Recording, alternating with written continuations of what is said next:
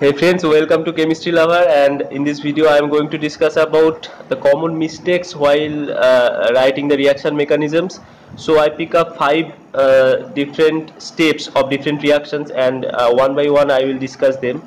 So the first one is the protonation of an amide. So uh, this step you many time encounter while writing any reaction mechanism that uh, amide is treated with some uh, protonic solvent. So uh, protonation will take place in this molecule. Now you have to decide from which center the protonation will take place.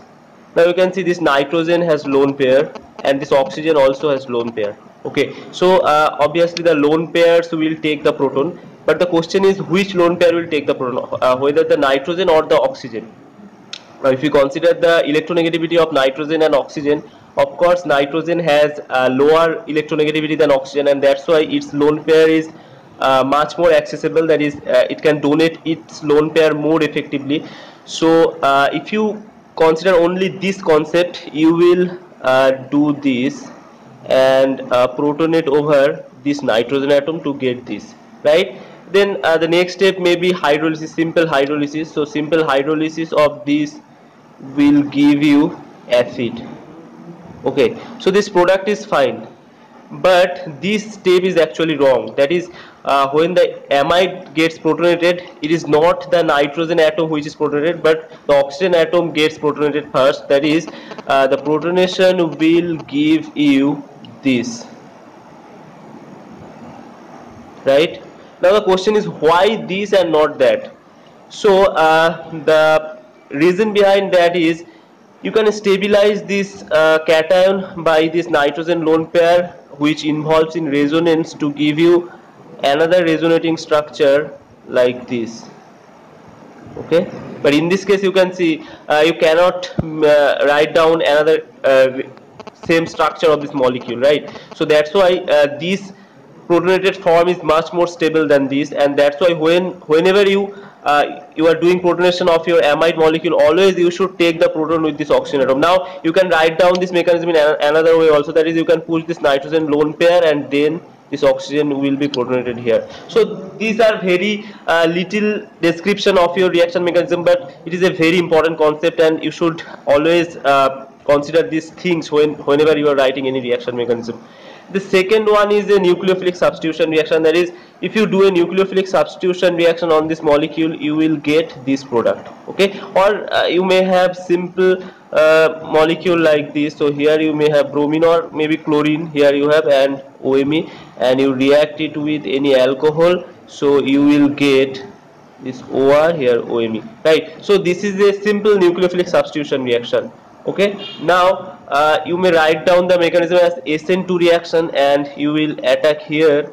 That will give you this product. But these reactions are actually not SN2 mechanism but it, these are SN1 mechanism. That is you have to first make this carbocation by involving this oxygen lone pair. So it will give you this carbocation right? And then your uh, nucleophile for example ROH here they will attack on here to give you this product. Now why this carbocation is forming? Because you can see the oxygen lone pair is there and that oxygen lone pair can stabilize this positive center. So that's why this carbocation is forming. And whenever you have this type of situation where you have some alkoxide group present you can never write down SN1 mechanism here. So this is again a common mistake while uh, writing down any reaction mechanism. The next thing is uh, here is again a SN2 reaction. And in this case you will get this diol over here. So here again you can push your uh, arrow and you can write like this to get this product. But actually uh, this is not the mechanism. So what is the mechanism? So here you have this OH so first when you react with base what will happen? You will have Cl here and this center will be deprotonated. So you will have alkoxide.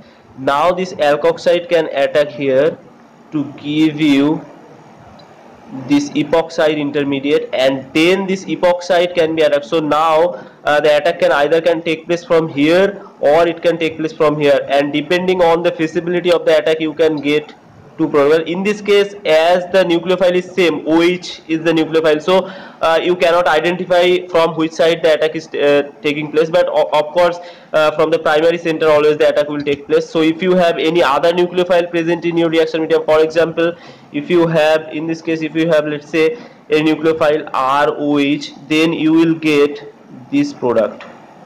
Right? So here again it is very important and uh, actually this mechanism is established by taking a chiral center here. So uh, in this case what happens if chiral center is used if if it was a normal SN2 reaction then inversion of the center will take place. But in this case what is happened is that uh, retention occurs. And that's why we can say that uh, this reaction goes through this epoxide intermediate.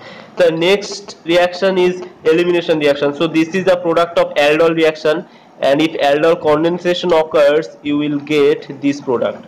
Now uh, if you do this elimination like this so this this cannot be a E2 elimination right? So what what is the actual case? Actual case is first this deprotonation will take place and you will get this enolate over here right? Now this enolate when pushed back its uh, negative charge then this OH minus will go and you will get this product. So this is basically a E1 CB reaction mechanism. So here again you have to be very uh, careful. And the final thing is the hydrolysis of uh, vinyl ether. So this is a vinyl ether RO and hydrolysis with H plus H2O will give you uh, here you will get OH alcohol and another product you will get is aldehyde right? So these are the product obtained. Now uh, one may write down the mechanism like so let's say the protonation will take place here which and now uh, water molecule sorry water molecule can attack here and you will get ROH plus this. So tautomerization of this will give you this aldehyde so one may propose this mechanism but this is not actually the correct mechanism because if this would be the mechanism then uh, let's say you have normal ether like this ROR and you are doing hydrolysis of this with H plus H2O so then also you get two equivalent of alcohol. So in this case what happens? This first get protonated and then water molecule attacks here to give you this product. So this reaction is very slow and no, uh, no, with normal acid this reaction doesn't take place. You have to use hydrogen iodide which is a very or hydroiodic acid which is a very strong acid right? But this reaction uh, when you have vinyl ether this reaction goes with uh, weak acid like HCl or HBr so how how how is it possible and what is the mechanism then so actually what happens here is that you have to again utilize the oxygen lone pair while doing the protonation right? So first step protonation is actually taking place like this. RO uh, here you have this protonation and now you have this oxygen. Now you can see you have water molecule in your reaction medium. So water molecule can attack here to give you this RO and here you have OH right so this is a tetrahedral intermediate. You can see this is a tetrahedral intermediate and after that if another protonation takes place here this can easily displace it.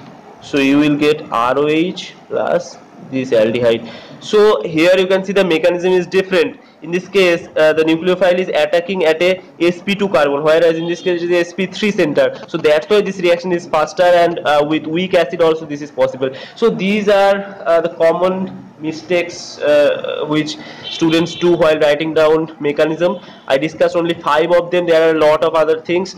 If you want to know about more you can let me know in the comment section. I will make another video. So if you like this video then share this video with your friends. And if you are new in this channel then subscribe my ch channel. Thank you for watching